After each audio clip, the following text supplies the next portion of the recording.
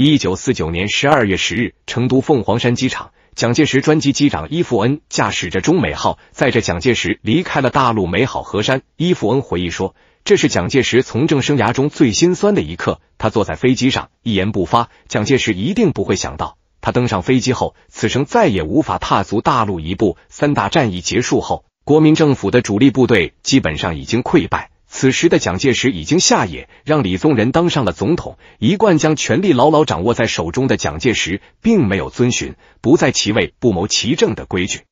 蒋介石虽已下野，但手中依旧掌握着国民党的实权。作为国民党的掌舵人，他最后决定接受一位高人的建议，将所有的部队迁移到台湾地区，在当地休养生息，然后伺机反攻大陆。那么，蒋介石为何会选择逃至台湾这块宝地？这位高人的建议。为何能打动一向独断专行的蒋介石呢？以史为镜，可以知兴替；以人为镜，可以明得失。欢迎订阅老海说史。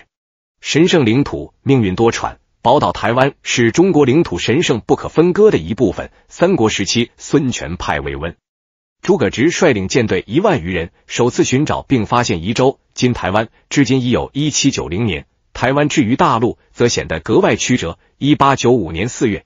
中日甲午战争，清政府战败，被迫同日本政府签订《中日马关条约》，将台湾及澎湖列岛割让给日本。消息一经传出，举国上下群情激愤，台湾各界纷纷奋起反抗。在反对条约无果后，台湾民众掀起了轰轰烈烈的保台运动。台湾沦陷后，帮办台湾军务的刘永福在民众推举下领导抗击日军，在保卫家园的战斗中。台湾军民以劣势的武器装备和较弱的人员物资配置上，采取阻击、伏击等作战方式，同数万日军激战四个多月，先后作战一百余次，使之付出死亡四千八百余人、伤病二点七万余人的重大代价，在中国近代史上留下了光辉的一页。一九四五年八月十五日，日本宣布接受《波茨坦公告》中的条款，无条件投降。中国人民经过十四年的艰苦抗战，付出巨大的牺牲。最终同全世界人民一道打败了日本侵略者，台湾结束了蒙受日本奴役半个世纪的屈辱历史，重新回归了祖国的怀抱。殊不知，和平却是如此的短暂。正当所有人都沉浸在抗日胜利的喜悦中时，蒋介石单方面撕毁国共和平协议，出动战机轰炸解放区，对我军发起攻击，造成了大量的人员伤亡，引起了广大群众的愤怒。我军无奈之下才奋起反击，为期四年的解放战争爆发，大陆硝烟又起，台湾人民依然水深火热。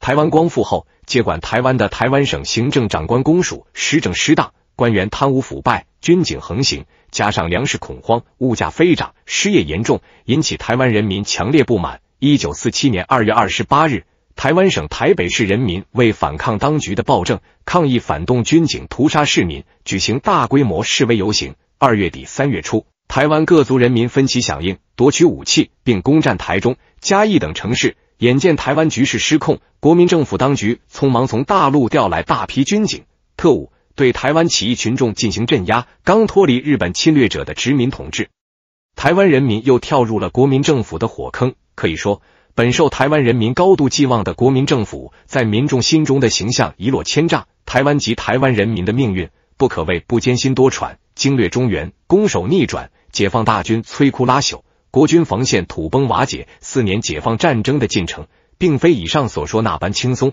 而是一个精心布局、此消彼长。强弱逆转的演变过程是一段解放军的成长史，国民党军的消亡史。那此时国共双方的军事实力差距究竟有多大呢？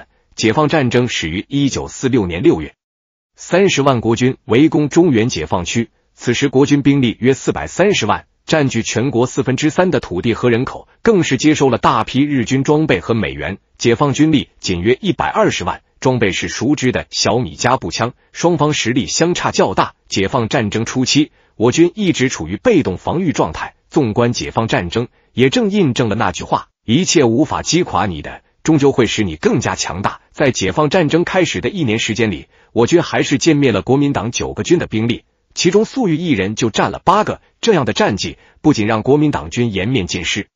甚至让军中雄鹰林彪都开始研究起这个战友来。一九四七年下半年，陈赓率领陈谢大军挺进中原，与刘邓大军、陈粟大军成品自行展开，拉开了战略反攻的序幕。一九四八年五月，为了摆脱中原战场的被动局面，国民党部署了十三个整编师担任中原的防务。面对来势汹汹的敌人，粟裕决定来一场大会战，以彻底扭转中原的困局。粟裕集结了华野八个纵队、中野两个纵队，加地方军区部队，共计二十万人。而对阵的国民党军有十二个整编师。三个快速纵队以及特种兵部队等，共计二十五万人。兵力方面，国民党军占据优势；武器装备上，我军更是无法和国民党军相提并论。林彪不打无准备之仗，他口中喜欢打神仙仗的粟裕，总能出其不意，攻其不备。在粟裕的率领下，此战共经历了两个阶段。第一阶段，六月十七日至二十二日，解放军攻克中原要地开封；第二阶段，六月二十七日至七月六日。解放军围歼屈寿年兵团主力和黄百韬兵团一部，这次战役称为豫东会战。我军虽伤亡四万余人，却歼灭国民党军九万余人，解放了大片中原地区，使国民党军失去了在中原战场的主动权，是在解放战争中被严重低估的战役。在很多资料中，刘邓大军挺进大别山，对扭转解放战争局势意义重大。其实，豫东会战将解放区连成了一片，堪称解放战争真正的转折点。更重要的是，此战以少打多，以弱打强，打出了华野的威风。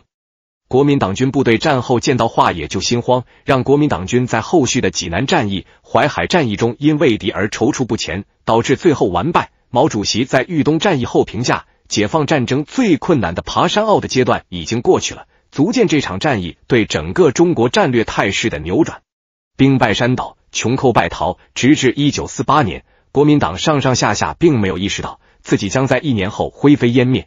我党也没有想到一年以后，解放军会以风卷残云之势席卷全国。国民党经过全面进攻和重点进攻之后，已经转入了重点防御阶段。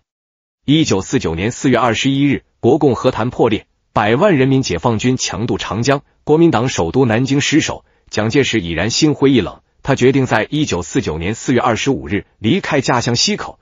他最不愿意见到的，最是仓皇辞庙日，教坊游奏别离歌，催泪对宫娥的时刻，还是来了。一九四九年五月六日，上海被解放军团团包围住，蒋介石仓皇登上江静轮，回望着江水浑浊、还被雾霾笼罩的上海滩，眼中满是悲戚、不舍、迷茫和无奈。此时的蒋介石六十四岁。一九四九年五月二十七日上午九时。被称为“东方小巴黎”的上海宣告解放。值得一提的是，解放军只用了十五天时间。蒋介石至死不明白，固若金汤的上海防线在半个月的时间里，怎么就被解放军攻克了呢？一九四九年，蒋介石从南京逃往广州，后来又逃到四川，可惜解放军不依不饶，一路紧追。蒋介石本来打算去西昌的，结果解放军追的实在太紧。最终只能逃往台湾。那么蒋介石走时，国民党还剩多少军事力量？说了你别不信。蒋介石撤退时带走的六十万陆军伤残严重，而且已经对战争疲惫，毫无战斗能力。而海军还剩下五十多艘，海军人数剩三点五万。不过比起当时的解放军，已经强大很多了。当时国民党空军战机还剩下四百架，但是有战斗机，却没有汽油，仅剩的汽油也只能维持两个月而已。败逃台湾的国民党军队连日常训练都无法进行，后勤保障更无从谈起。蒋介石得知这个数据后，心中不免感慨：想卷土重来已是天方夜谭。解放军一路势如破竹，国民党内部将领还不断倒戈相向，蒋家王朝彻底崩塌。此时的蒋介石应该何去何从呢？蒋介石本想留在云南和解放军决一死战，最终还是放弃了。兵败如山倒。最终带着残余势力逃至台湾。蒋介石之所以做出这个选择，其实是受到了高人指点。穷途末路，高人指点。一九四八年底，随着辽沈战役、淮海战役的胜利结束，我军在气势上已经完全占了上风。此时的中国，山河崩裂，天地改色，国民党政府摇摇欲坠，蒋介石困兽犹斗，国民党何去何从？让蒋介石彻夜不眠，各大要员登门游说，均被蒋介石摇头拒绝。万不得已。蒋介石必须重新盘算迁都一事了。当时国民党内部对于撤退有三种方案：一、撤退到大西南的川渝一带，就像当年迁都重庆一样，建立以西昌为中心的大西南根据地，利用西高东下的地理优势，居高临下，企图日后反攻；二、撤退到海南岛，以此为中心，加上东南沿海地区作为最后顽抗的阵地。三、撤退到台湾岛，凭借台湾海峡以自保，进退自如。正在蒋介石踌躇不决时，一位高人的出现，让他最终下定了决心。这位高人不仅为蒋介石照亮了前面的黑暗，也改变了中国的历史。他就是张其云，浙江宁波鄞县人，一九二三年南京高等师范学校毕业，后任国民党委员会秘书长等。创办中国文化大学，是有名的地理学家、历史学家。张其云说：“退守台湾是目前最明智的选择。”此时，蒋介石听了，心头一亮。